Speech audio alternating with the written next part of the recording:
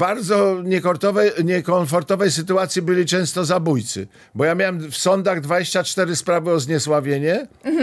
Skazanych już y, prawomocnie tam na 25 lat na, na dożywocie. Oni to oczywiście traktowali jako rozrywkę, bo ich wozili z Goleniowa na przykład 600 kilometrów do sądu w Łodzi, nie? To 2-3 dni sobie posiedzieli przez te I kratki. ciebie pozywali o zniesławienie ci, których Tak, sąd że uznał za winnych nie tak, zbrodni? że on zabijał nie lewą ręką, tylko prawą i tak dalej. No tak upraszczam oczywiście sprawę, ale to w sumie o to, o to chodziło, że ja, że ja z, o, zrobiłem z nich okrutnego bandyta, jak on tylko przez przypadek zastrzelił, czy tam odwrotnie. A I sąd tak, kiedyś uznał, że faktycznie z bandyty zrobiłeś większego niż jest? No, sądy były sprawniejsze wtedy chyba niż w tej chwili jakoś mnie nie uznał, ale jedną sprawę o zniesławienie yy, przegrałem i to wcale nie tak dawno, bo ona się ciągnęła.